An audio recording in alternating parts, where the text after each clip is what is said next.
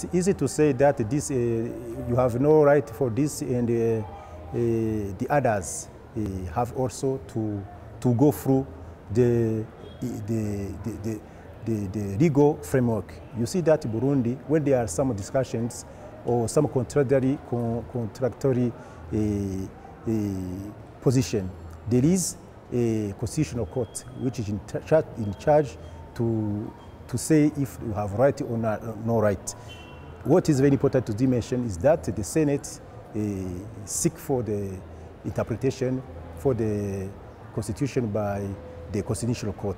What is said that uh, our political party and also for our candidate, candidate we have right to, to go through election. It means that we accept the outcome of the constitutional court. That's why the others also must respect it. It's very important. Will there, can there be a because the African Union has said the environment right now is not conducive, and also the US has been placing a lot of pressure uh, to postpone the elections. Is that uh, something that you will consider? I can tell you that for enduring stability in Burundi, you can say that uh, you can't organize election when you see that 90% of the whole country is peaceful and secure. Uh, it means that the, all conditions are available to organize successful elections. We can say that if you see those people who are speaking about to postpone the elections, it means that we go through the transitional government.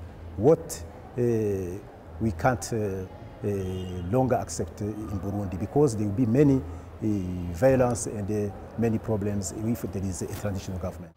So the elections, as you said, will go on, but there has also been concerns that uh, the uh, ground is not level or they might not be free and fair. Can you guarantee the citizens of Burundi that the elections will be free and fair? And if it, you do lose in the elections, you will hand over power? We are very, very optimistic that uh, Burundi is not the first time we organize successful elections. If you compare the, the environment, we organized elections in 2005 it was, there was there another guerrilla movement we still fighting the government.